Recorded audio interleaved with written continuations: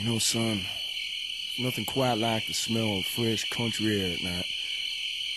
And freshly digested baked beans.